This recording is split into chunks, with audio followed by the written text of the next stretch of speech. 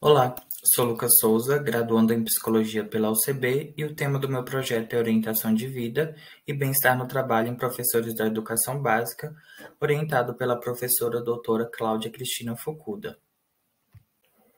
Falando sobre a introdução, a psicologia positiva marca um novo olhar para os fenômenos psicológicos,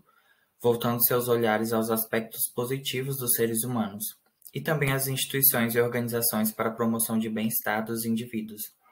Diante de todo o contexto pandêmico, é necessário estudar construtos que atuem como protetores da saúde mental dos trabalhadores, nesse trabalho, especificamente os professores, como a orientação de vida, que é a forma que as pessoas conduzem as suas vidas, e bem-estar, que está associado à forma que as pessoas avaliam a sua vida. Os objetivos são identificar a relação entre a orientação de vida e satisfação com o trabalho dos professores, e verificar a diferença entre satisfação com a docência e orientação de vida com características sociodemográficas. A metodologia utilizada foi a quantitativa, caracterizando-se como um estudo transversal, descritivo e correlacional.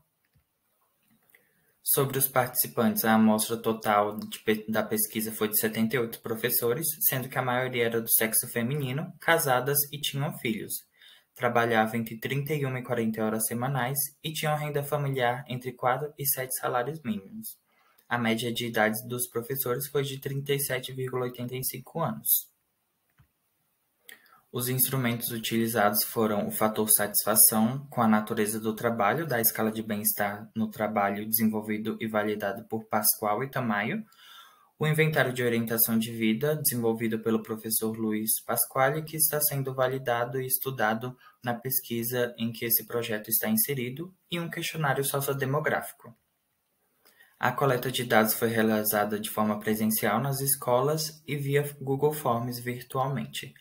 Para análise de dados, utilizamos estatísticas descritivas e inferenciais, bem como estudos de validade e precisão. Sobre os resultados, fizemos uma correlação entre a escala de bem-estar no trabalho e o inventário de orientação de vida, o que demonstrou uma correlação fraca entre os fatores antissocial e sinergia e uma boa relação entre a autoaceitação e a escala de bem-estar no trabalho. A correlação entre a escala de bem-estar e o fator antissocial é negativa, como esperado, quando uma aumenta, a outra diminui, e professores com maiores níveis de autoaceitação tendem a ter maior satisfação com o trabalho. Falando agora sobre características sociodemográficas, quanto ao gênero, não houve diferença significativa Apenas para a sinergia foi encontrada a diferença entre significativa entre professores da escola pública e particular, ou seja, professores que atuam exclusivamente em escolas particulares apresentam médias significativamente maiores em sinergia do que professores que atuam em escolas públicas. Foi encontrada uma correlação baixa entre o tempo de docência, porém significativa, com a autoaceitação, então professores com maior tempo de docência tendem a apresentar maior nível de autoaceitação, o que pode ser devido à idade. Identificamos que os professores que tinham filho tinham média maior em autoaceitação dos que não tinham, independente da quantidade de filhos. E por último, a renda, professores com renda maiores a oito salários mínimos apresentam, em média, maiores níveis de bem-estar no trabalho do que professores que tinham rendas inferiores a oito salários mínimos. Com isso, concluímos que, apesar das mudanças e desafios impostos pela pandemia no cenário escolar, os professores apresentam bons níveis de satisfação com a docência e uma boa capacidade de aceitarem-se a si mesmos, somando-se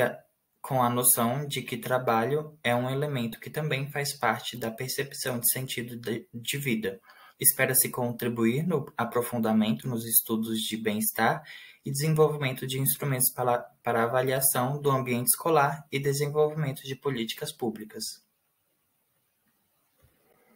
Essas foram as referências que eu utilizei no meu trabalho. E por fim, concluo falando que o meu trabalho foi aprovado para apresentação em pôster no Congresso Brasileiro de Psicologia Positiva na PUC do Rio Grande do Sul. Obrigado e espero que tenham gostado do meu trabalho.